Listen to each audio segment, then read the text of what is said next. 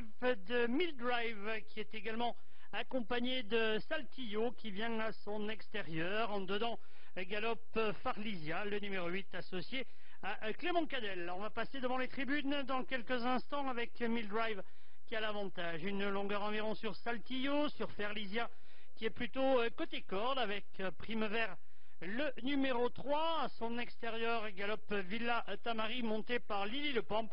Et derrière, nous retrouvons Perido devant le 5 Love in the Mist ainsi que le numéro 4 Helsinki. Le tournant euh, du parking est abordé. Mildrive est en tête, le numéro 1, en deuxième position Ferlisia.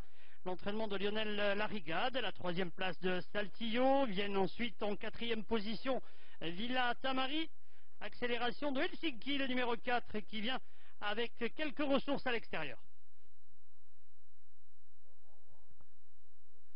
Mildrive en tête, Saltillo qui revient à trois quarts de longueur, Helsinki est là, Farlisia est bien calé depuis le départ le long de la corde avec en cinquième position Love in the Mist, le bout de la ligne droite à l'entrée du tournant final, on va commencer à accélérer notamment avec Mildrive qui subit l'attaque de Saltillo, le 2 associé à Tania Prepoint.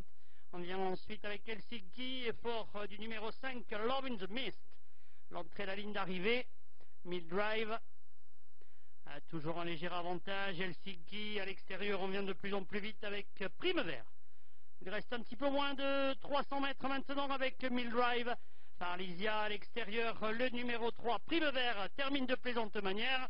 Farlisia est à la lutte avec Mildrive à quelques mètres du poteau, même si à l'extérieur, Prime Vert termine de plaisante manière. Farlisia qui va s'imposer. La deuxième place peut-être à la fin pour le numéro 3 Prime Vert devant l'As Mildrive.